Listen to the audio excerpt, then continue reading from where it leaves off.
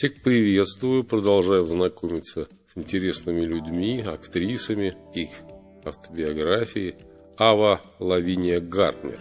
Американская актриса и певица, одна из ярчайших звезд Голливуда 1940-1950-х годов. Номинировалась на премию «Оскар», занимает 25 место в списке величайших кинозвезд в истории Голливуда. Обладательницу лица ангела и тела богини, в кавычках, часто называли одной из самых красивых актрис 20 века. Я цитирую переводную Википедию. Ава Гарнер родилась 24 декабря 1922 года в Северной Калифорнии. Была младшей из семи детей в семье фермеров, выращивающих табак. После школы будущая актриса поступила в Атлантический христианский колледж, где около года обучалась на секретаря. Карьера Гарнер началась, когда она летом 1940 года навещала свою старшую сестру Беатрис в Нью-Йорке. Муж ее сестры, Ларри Тар, увидел Аву, захотел сделать фото, которое он выставил в витрине своей фотостудии. Бернард Духан, сотрудник юридического отдела театра Лоу, заметил фото Авы и захотел взять ее номер телефона. Он использовал тот факт, что МГМ была дочерней компанией театра Лоу. Подписав контракт со студией МГМ, Гарнер начала с 1941 года появляться в основном в эпизодических ролях. И первый ощутимый успех – пришел к ней с фильмом «Убийцы» 1946 года, классическое кино в послевоенном жанре нуар. В 1950-е годы Авы Гарнер начали раскручивать под девизом в кавычках «самое сексуальное животное на земле», кавычки закрываются. Пиком карьеры Ава стала главной роли в фильмах «Снега Килиманджаро» с Грегори Пеком 1952 года, «Магамба» с Кларом Гейблом 1953 за который актриса была номинирована на премию «Оскар», а также получила номинации для других фильмов, такие как премия «Бафта» и «Золотой глобус».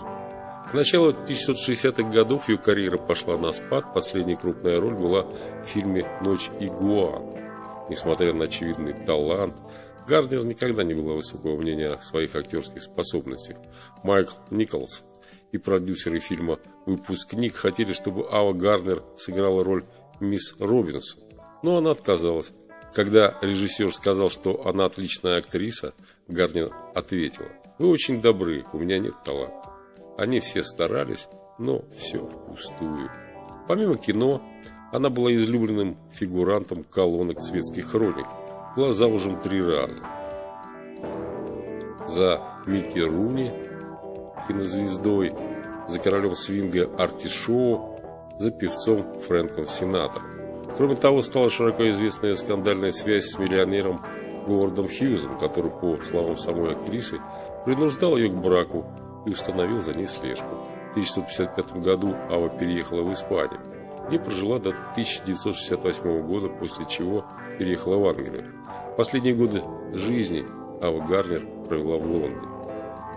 Актриса перенесла два инсульта, которые оставили ее частично парализованной и прикованной к постели.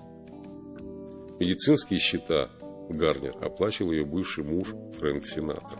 Скончалась в возрасте 65 лет 25 января 1990 года. Ее последними словами были «Я так устала». Грегори Пек, близкий друг и партнер Гарнер, забрал собаку Гарднер и ее домработницу с собой в Лос-Анджелес. Ава Гарнер была похоронена 29 января в мемориальном парке Сансет рядом со своими родителями. В городе Смитфилде сейчас есть музей Авы Гарнер, который основан в 1996 году. Вот так вкратце о американской актрисе, певице Ава Лавиния Гарнер. Пока-пока, до свидания, смотрим фото.